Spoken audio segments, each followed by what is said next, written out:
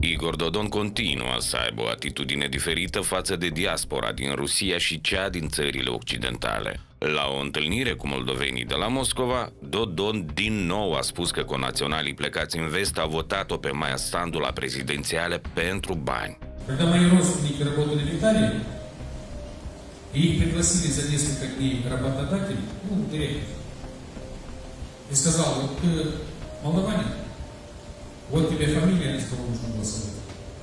Если ты не проголосуешь, я тебя отсюда выгоню. Вот там был задействован ресурс. Кроме вот кто-то там сказал, что давали 50 евро. Mai mult, el a declarat că diaspora din Italia a corupt-o pe cea din Rusia pentru a o vota pe Sandu. Вот мне один мой знакомый, ну, россиянин, живет на Рублевке. У него работает два молдаванина, ну, жена супруга, Садова, Садова. Его спросили, слушай, а ты за кого голосовал? А мой знакомый, он меня, они меня там видели, эти молдаване, с ними здоровался. Спрашиваю, за кого голосовали? Говорит, за страну. И говорят, ну как? Дадона знаешь, а, был здесь вот такой парень, президент наш. Говорит, а что вы голосовали за страну? Говорит, родственник позвонил с Италии, дорогой брат, переслал 100 евро по почту, 50 евро для меня, 50 евро для супруги, чтобы я сфотографировал, дал обратно. Я проголосовал, дал фотографию, но я за Дадона. Pe de altă parte, față de diaspora din Rusia, Igor Dodon are cu totul altfel de atitudine. O numește a noastră și îi promite diverse beneficii.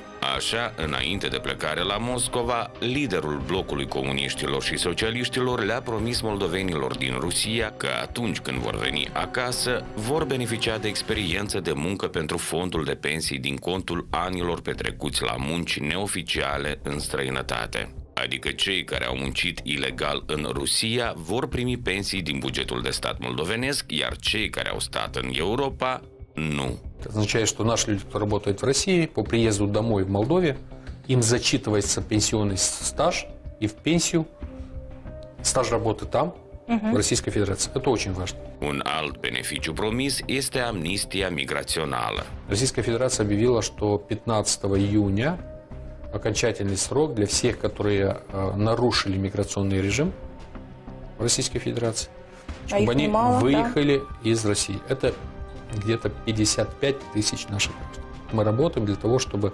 сделали какие-то исключения для наших граждан, э, lибо продлили это, чтобы наши граждане не были обязаны срочно приезжать домой.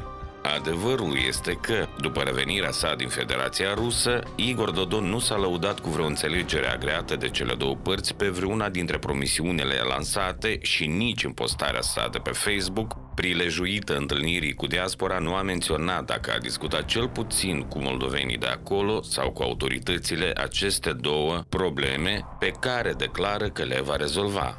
În schimb, Dodon a revenit la retorica sa de acum câțiva ani de zile, precum că Rusia este indispensabilă Republicii Moldova. Потому что я честно считаю, что Молдова без дружбы с Россией не выживет.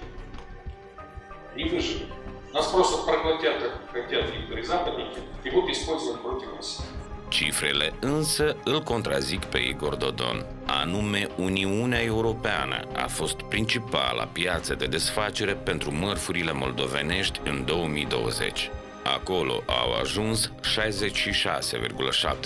66,7% din totalul mărfurilor exportate de Republica Moldova, în timp ce Federației Ruse i-au revenit doar 8,7% din exporturi.